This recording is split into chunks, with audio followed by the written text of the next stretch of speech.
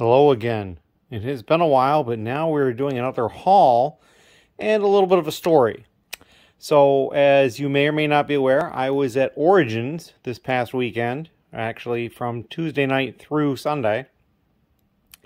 And on the drive back, uh, a friend and I, we stopped at a place called Grampa's Cheese Barn. And it is south of Cleveland and they sell cheese and like meat stick type stuff. And they've also got a chocolate shop off to the side. And so I'd gone into the chocolate shop to look around and decided to pick up a couple of things. And while I was in line, I wasn't really paying close attention. I was concentrating on something, don't even remember what it was.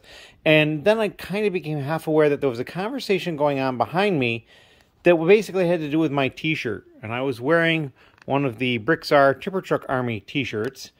Uh, and the, it sounded like the guy who was with the group uh, was telling them about the tipper trucks and how the guy had made uh, a really big one. And I was just like, but I wasn't 100% sure what I was hearing. I was just kind of like filtering in and out. It was, it's been a long week. I had a lot of fun, but I was a little tired.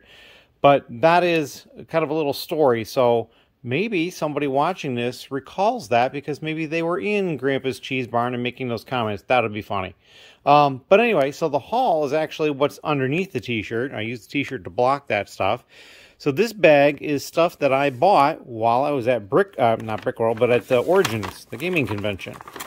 So, uh, first we'll start off with this pin. Uh, it's just a pin of like a Lego head and kind of like a pumpkin slash skeleton kind of look.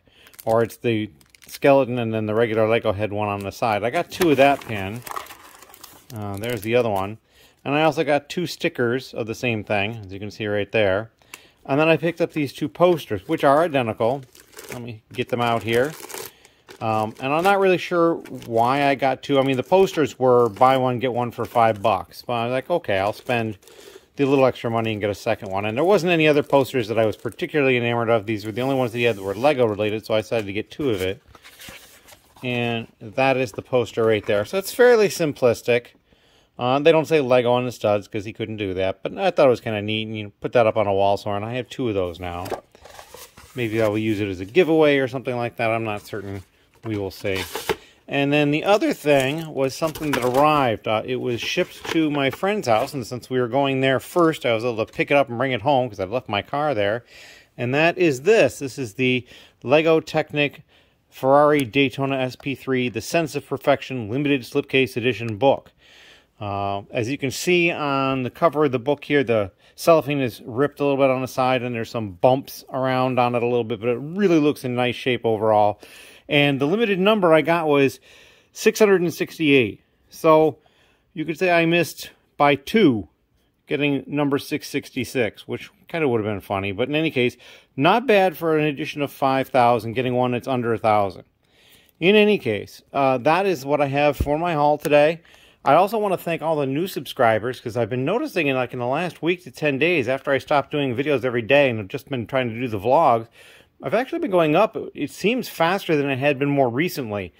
So maybe people were put off by having too many videos all the time. I'm not certain, but I'm up to like 443 or 543 or something like that. And it's, that's like 10 or 12 more than when I stopped doing daily videos. So that's pretty cool. And I appreciate that.